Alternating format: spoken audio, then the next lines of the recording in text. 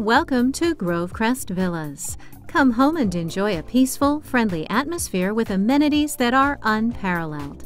You can get an energizing workout in the fitness center or take a stroll along the beautifully landscaped walking trail. If you're looking for quieter activities, you could curl up with a good book in the library, watch a movie in the movie theater, or simply soak up the warmth in the sun kissed garden. We offer an abundance of planned activities that are focused on your well being and promote a fun and healthy lifestyle. Our apartments provide a cozy, warm feeling of home that you'll fall in love with. In every one or two bedroom apartment, you'll love the open feel that the 9 foot ceilings provide, the abundance of light from large windows, and the beautiful kitchen complete with stainless steel appliances and an island.